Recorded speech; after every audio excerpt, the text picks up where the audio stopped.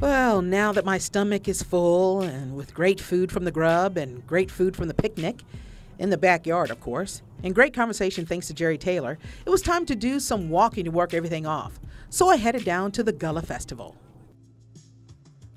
Every year and every month of May, the celebration of the Gullah culture happens at Beaufort's Gullah Festival.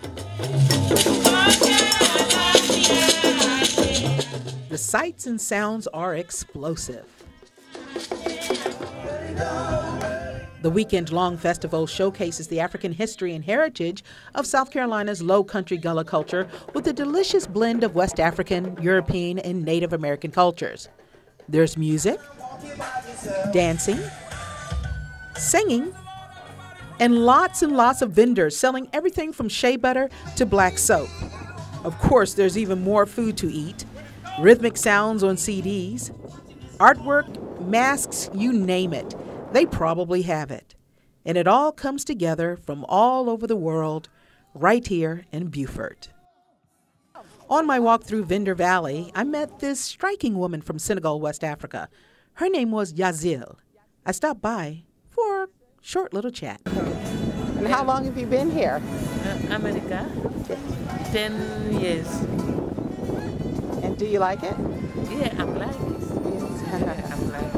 Okay, well, great. Well, thank you so very much. You're welcome. Can I get a shot of your outfit?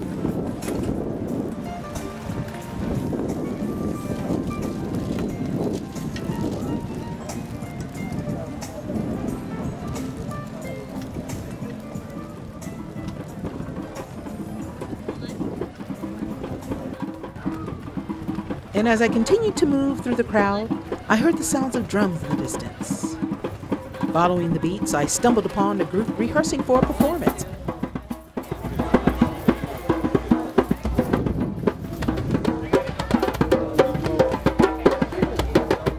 I didn't want to interrupt their practice time, but I noticed tribal scars on one young man's face and wanted to know where did they come from?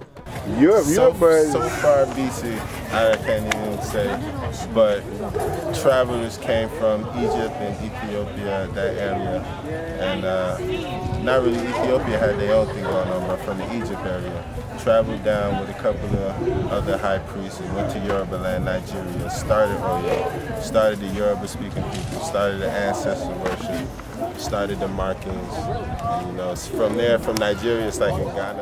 So their spiritual affiliation was Yoruba, and the sounds, the drums, and the chants began to sound like music.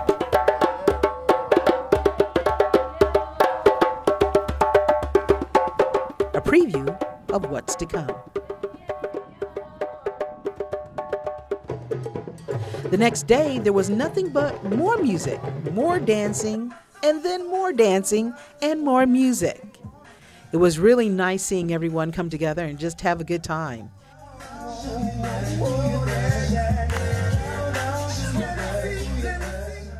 And then the African dancers took to the stage.